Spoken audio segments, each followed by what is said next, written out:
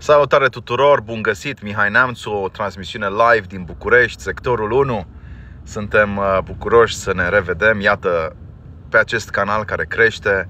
Sunt tare încântat că și aici pe TikTok putem să dialogăm, poate chiar mai mult decât pe Facebook, unde sunt și eu ca atâția alți conservatori shadow band, adică sunt uh, pus într-o zonă de irelevanță și, mă rog, de obscuritate chiar. Am aproape 100.000 de like-uri pe cont, dar când fac o postare abia mă văd câteva zeci. Vă salut și punem această întrebare, doamnelor și domnilor, cine sunt conservatorii? Nu numai cine sunt conservatorii din România de astăzi, anul 2024, cine au fost conservatorii atât în Europa cât și în România mare, România lui Ferdinand, România lui Carol, România lui Eminescu. Sunt tare bucuros să răspund întrebărilor voastre. Nu uitați să ne trimiteți și cadouri dacă vreți pe acest canal.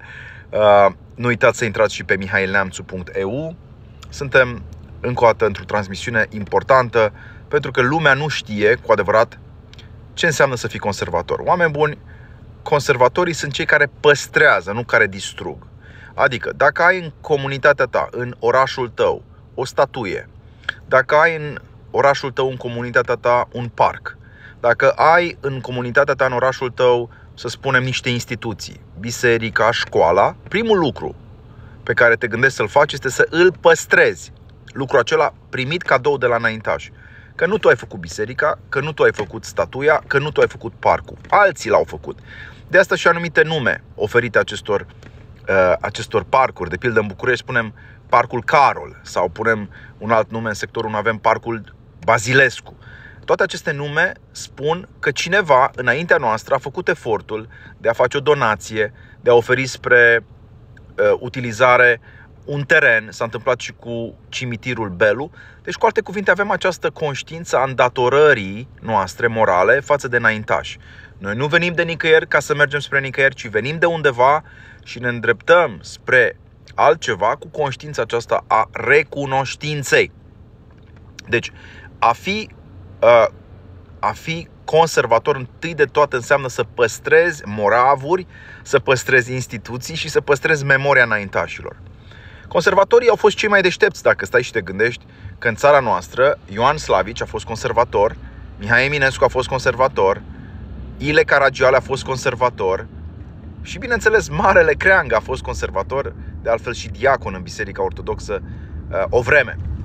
Dacă te gândești că toți clasicii literaturii române au fost conservatori, că filozofi de talia lui Mircea Eliade au asumat conservatorismul, dacă te gândești că mințile cele mai luminate din filozofie și din poezia noastră clasică, mă gândesc la Lucian Blaga sau, de ce nu, la Constantin Noica, dacă te gândești că toți aceștia au avut o pasiune față de trecut, față de memoria înaintașilor, atunci îți dai seama că nu e nimic mai bun în viața asta decât să fii în clubul celor mai selecți gânditori sau în clubul pur și simplu gânditorilor de top ai României.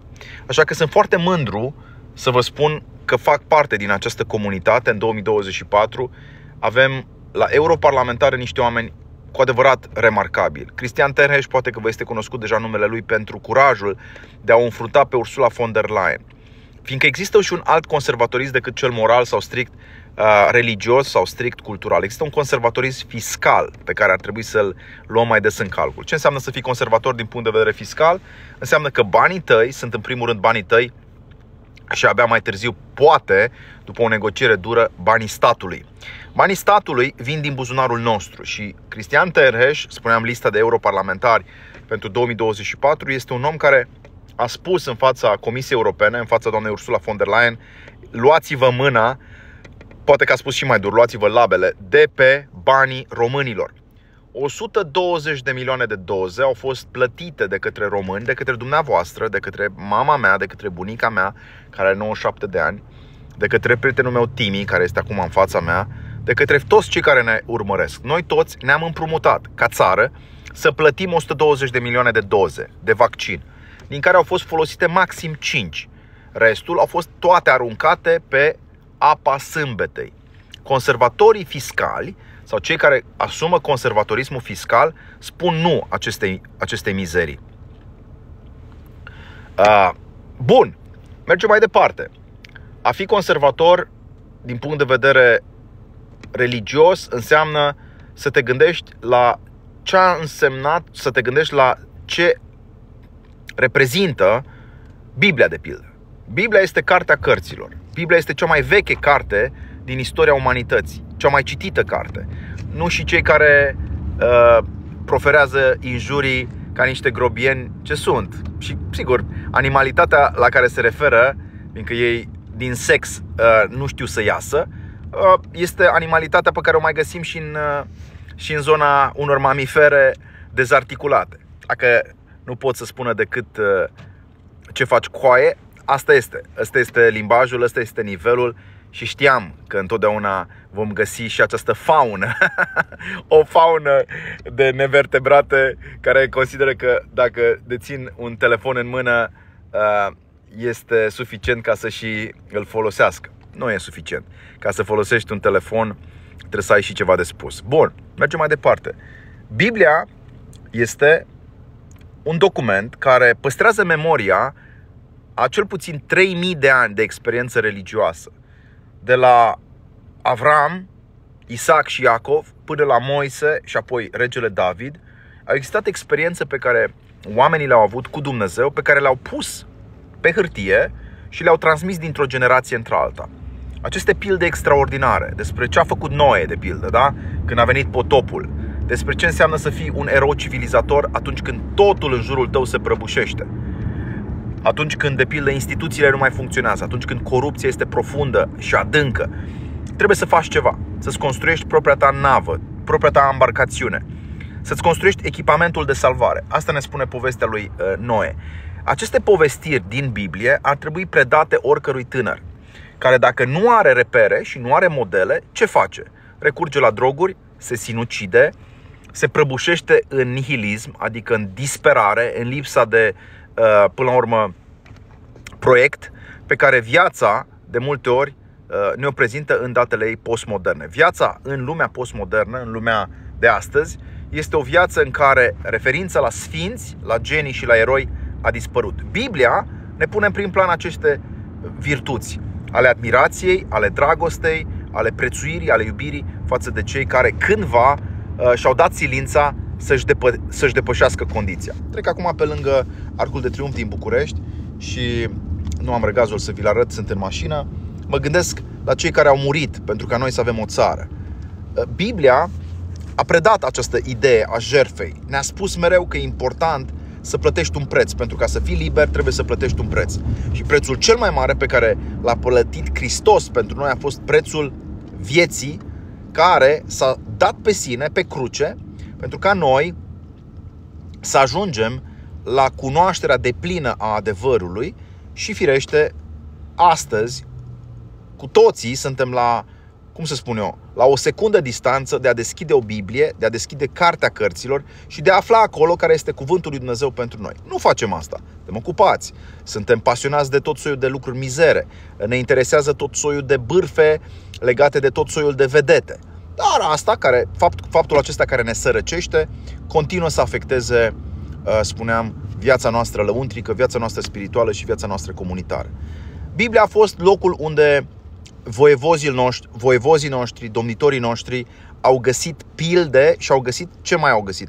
Au găsit învățături, învățături care puteau fi aplicate în viața de zi cu zi. Să ierți, de pildă, să iubești, să treci cu vederea, să nu judeci, să dai întâietate aproape lui tău. Toate aceste porunci, care au fost cândva luate în serios, au generat o, o lume, o civilizație, o cultură, până la urmă niște valori. Așa a apărut, de pildă, muzica clasică. Așa a apărut, dacă vreți, universitatea. Așa a apărut uh, instituția numită Spitalul. Toate acestea au apărut într-o Europa cristiană, într-o Europa creștină și șlefuită de moravurile evanghelice. Nimeni nu mai dă doi bani astăzi pe creștinism. Noi, conservatorii, însă, venim și spunem atenție, atenție la neatenție, atenție la ceea ce îți dorești, atenție că uneori mai binele este dușmanul binelui. Și de asta conservatorii pe care încerc să-i reprezint și vă salut, sunteți într-un număr tot mai mare, suntem aproape 200 și ceva ca, ca într-un anfiteatru când țineam cursuri pe vremuri la Universitatea București. Vă mulțumesc, sunteți extraordinari, sunteți minunați și apreciez că nu luați în seamă toate golăniile proferate de unii și alții probabil plătiți uh, aici pe uh, la rubrica comentarii, pe chat. Spuneam că a fi conservator înseamnă să spui că într-o școală e mai bine să citești Biblia, să citești povestea lui Moise, să citești povestea lui Avram, cel care la 65 de ani pleacă în căutarea pământului făgăduinței, să citești povestea uh, femeii prostituate care își schimbă viața, să citești povestea fiului risipitor uh, care pleacă într-o țară îndepărtată și apoi regretă că a ajuns să mănânce roșcove. Acestea sunt povești reale, sunt povești despre tine și despre mine despre, pustiet, despre pustietatea, despre, până la urmă, aș spune, goliciunea pe care o resimțim în suflet. Viața noastră care nu are sens poate fi umplută de un sens descoperit, revelat în Isus Hristos, abia atunci când lăsăm prejudecățile lumii, le punem deoparte, lăsăm gargara celor din jurul nostru care ne îndeamnă la rău și la păcat și, evident, îmbrățișăm un drum mai greu, un drum opintit adesea, care este pe verticală și care este și strâmt. Nu este doar Uh,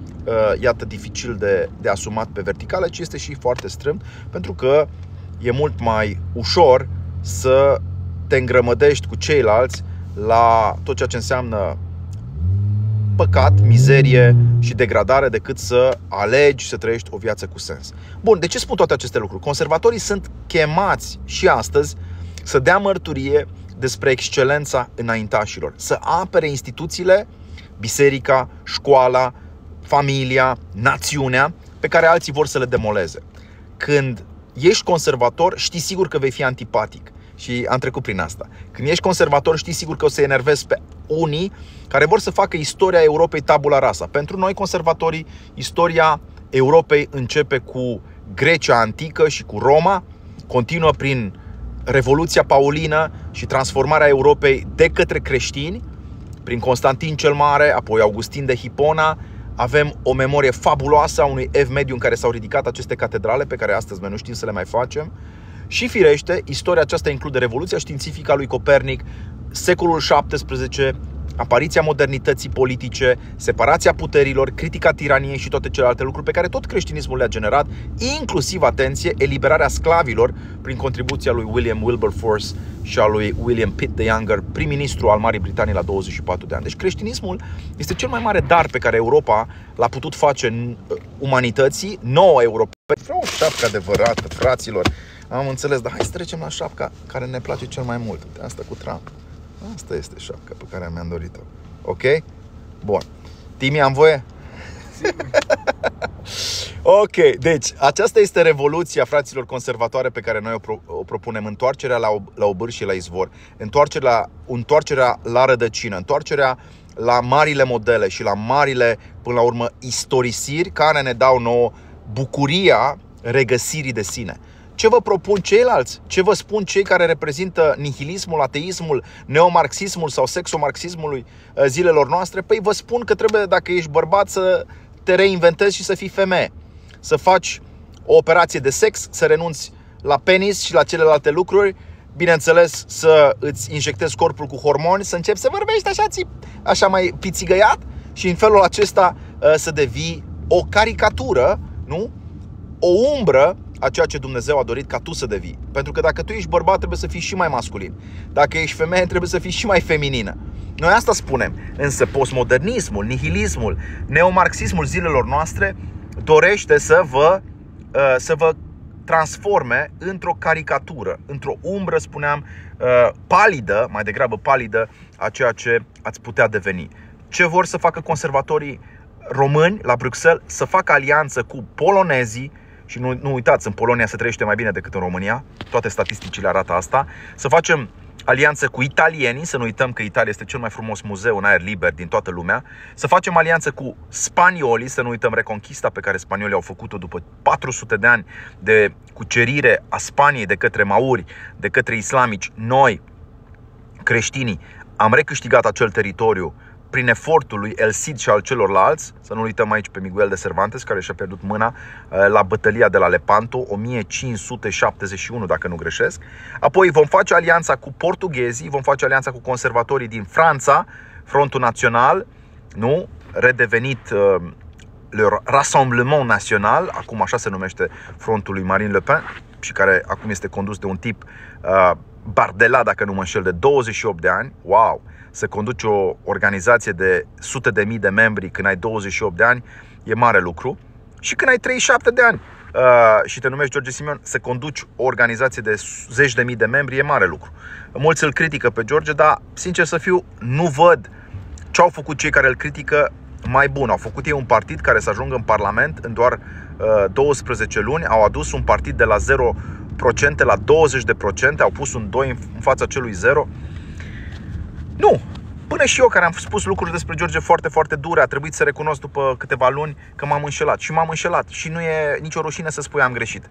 Dacă nu ai onestitate, minți și spui că ai avut tot timpul dreptate. Dacă ești onest, spui, da, domnule, am mai și greșit în analizele și în judecățile mele. Deci, fraților, conservatorii precum Cristian Terheș, care s-a luptat pentru transparență fiscală la Bruxelles, conservatori precum Claudiu Târziu, care s-a, s-a luptat pentru familia tradițională de atâtea ori, conservatori precum domnul Dimitrie Sturza, pe care vi-l recomand, un aristocrat veritabil venit din Canada, uh, revenit în țară ca să ajute antreprenoriatul să construiască inclusiv, uh, să refacă un hotel la Constanța. Acești conservatori minunați pe care eu îi cunosc, profesorul Gheorghe Piperea, care s-a luptat pentru drepturile dumneavoastră în timpul pandemiei, acești conservatori excepțional ai României vă vor reprezenta. A, da, sunt pe locul 10. Wow! Am o veste pentru voi. Până și Euroactiv spune că aur va lua între 10 și 12 locuri. Locul meu este locul pe care l-am solicitat tocmai pentru că n-am, n-am dorit să vin la o masă cu bucatele puse. Am dorit să vin să pun și eu niște bucate la masă. Cred că ăsta este rolul oricărui om care are, evident, uh, bun simț. Doamnelor și domnilor, haideți să mergem uh, mai uh, departe și să luăm să luăm câteva uh, comentarii ale noastre. A, ești locul 10 pe listă. Da, sunt pe listă. Unii sunt, unii sunt în, a, în arenă și doar comentează, alții sunt pe teren și joacă. E o diferență uh, între, uh, între cei care doar comentează și cei care sunt și jucători. Bun, ce am de spus despre cei care înjură? It's all about you guys, it's all, all about you, nu este despre mine, ci este despre tine. Înjurătura aia te reflectă pe tine, îți reflectă ție educația, îți reflectă ție nivelul intelectual, îți reflectă ție mediul probabil în care te-ai format, atâta poți, felicitări. Cine a făcut vasectomie? Nu eu, poate tu lobotomie ești iubitul lui uh, Simeon, sunt mai heterosexual decât părinții tăi care te-au născut într-o zodie nefericită, tinere. Ca să știi și asta, uh, și cred că știi asta, uh, suntem aici în discuție cu cei care, cei care numără, numără like-urile, sunt multe și vă mulțumesc pentru, pentru fiecare like Piperea este un tip excepțional, spune cineva. Să știți că este un uh, profesor respectat. De ce susțineți suveranismul? Nu eu susțin suveranismul, la această întrebare dăm repede un răspuns. Constituția României spune că poporul este suveran și la articolul 2, dacă nu mă înșel, mai spune Constituția României că suveranitatea poporului se exprimă prin referendumuri. Sigur, în România ne-am obișnuit ca poporul să voteze ceva și cei care ne conduc să ne, să-și bată joc de, de, de noi. S-a întâmplat cu referendumul care cerea 300 de parlamentari, poporul a votat și apoi politicienii au spus că a fost un referendum consultativ care nu are valoare normativă. Mulți dintre cei care astăzi înjură și critică nu-și dau seama că cei care îi conduc, cei care îi conduc îi obligă în fiecare zi, da, pe criticii mei îi obligă, pe voi, pe cei care voi pe voi cei care mai și înjurați pe aici, ca ta puteți, uh, domnul Ciolacu, Marshall, nu cum zicea Olaf Scholz, activistul de partid din Partidul Socialist, uh, pe voi, ăștia supărații care nu-l suportați pe Neamțu, nu-l suportați pe Piperea, nu-l suportați pe Târziu, nu-l suportați pe George Simion, pe voi, domnul Ciolacu vă pune în fiecare zi la plată. A, că nu știți asta, nu e vina mea. Poate n-ați aflat că într-o singură zi guvernul s-a împrumutat cu 4,3 miliarde. Poate n-ați aflat că același guvern al României pe care probabil îl susțineți voi, că de, dacă ești curajos, susții guvernul. Asta este mai nou etalonul de curaj în societate. Cine este uh, bătăios, e cu guvernul, tată. Uh, da, pe voi, vreau să vă anunț uh, oficial, domnul Ciolacu v-a pus la plată, inclusiv ca să susțină prin ajutor de stat nu antreprenorii din țara asta, nu cei care fac o haină, nu cei care repară o mașină, nu cei care produc un șurub. Nu, nu pe antreprenori trebuie să-i susținem în România. Nu pe conaționalii voștri, nu pe părinții voștri, nu pe bunicii voștri trebuie, să, trebuie să-i susținem. Noi trebuie să susținem Coca-Cola. Ați aflat de chestia asta? Ei bine, da, vă spun adevărul, gol-goluț. În România, guvernul a susținut prin ajutor de stat de câteva milioane bune corporația americană Coca-Cola, ca și când Coca-Cola nu-și putea vinde băutura aia care e apă cu zahăr suficient de bine, fără ajutorul de stat. Deci noi care punem presiune pe antreprenori, punem pe umerii fiecărui proprietar de firmă poveri fiscale tot mai mari, noi, românii, îi ajutăm pe americani să vândă mai bine apă cu zahăr. Coca-Cola asta face. Și a venit domnul Ciolacu să spună, trebuie să ajutăm compania Coca-Cola. În ce țară trăim? În ce țară trăim? De ce să nu ajutăm o firmă românească? De ce să nu ajutăm, de pildă, țăranii care vor să vândă roșii, castraveți și ridichi?